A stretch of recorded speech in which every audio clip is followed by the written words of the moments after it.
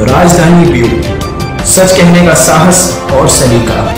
हम हैं आपकी आवाज़, राजधानी व्यू विदिशा। विदिशा में संचालित अशासकीय निजी स्कूल संचालकों द्वारा अलग अलग बैनर तले जिला प्रशासन को ज्ञापन सौंपा। ज्ञापन में बताया कि निजी स्कूलों में कार्यरत शिक्षकों को सरकार द्वारा आर्थिक पैकेज दिया जाए। वहीं कोविड 19 के चलते स्कूली बच्चों की फ़ीस न आने के कारण स्कूल संचालक एवं शिक्षक आर्थिक तंगी से जूझ रहे हैं। उन्होंने बताया कि सन 2016 से अभी तक निशुल्क फ़ीस प्रतिपूर्ति का पैसा भी नहीं आने से स्कूल संचालक आर्थिक तंगी के दौर से गुजर रहे। ऐसे में उन्होंने जिला प्रशासन से मांग की है कि संस्थाओं के खातों में पैसा जल्द डलवाया जाए। आज निजी स्कूल शिक्षण संघ के बैनर तरह हमने दस सूत्रीय मांगों को लेकर माननीय डिप्टी कलेक्टर महोदय को आज ज्ञापन सौंपा है। इसमें सर्वप्रथम ये मांग ये है कि आरटी का जो पैसा है 2016 से लेके अभी तक का रुका हुआ है, जो करोड़ अरबों रुपए है लगभग स्कूलों का तो उसका भुगतान तत्काल किया जाए।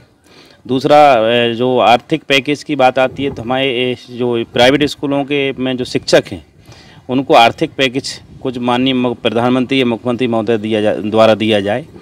तीसरी हमने मांग ये कि टीसी को देने के लिए प्रशासन द्वारा बाध्य किया जाता है। तो उसके लिए बाध्य न करें। अगर उसकी फ़ीस ड्यू है क्या कहते पेरेंट्स की तो या तो पार्क से जमा करवाएँ, या फिर क्या कहते प्रशासन खुद दे।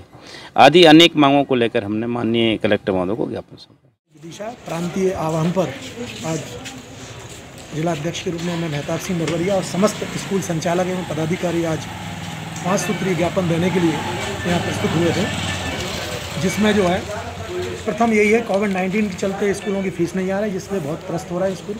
दूसरा यह है कि हमारा घर, हमारा विद्यालय जो शासन ने चलाया है, उसके जब शासकीय में किया हुआ तो शासकीय में भी होना चाहिए, उसको भी छूट देना चाहिए। जिसका हम विरोध करते हैं कि ऐसा कार्य ना हो, जिससे कि ये कोविड नाइन्टीन का सोशल डिस्टेंसिंग का ध्यान रखते हुए उसको परिपालन में हम कहते हैं कि जब अशासकीय बंद है तो शासकीय विद्यालय में इस तरह के नहीं होना चाहिए हलचल।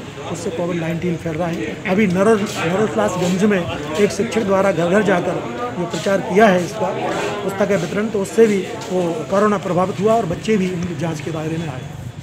विदिशा से कमल रेकवार की रिपोर्ट। राजधानी व्यू सच कहने का साहस और सलीका। हम हैं आपकी आवाज़ राजधानी व्यू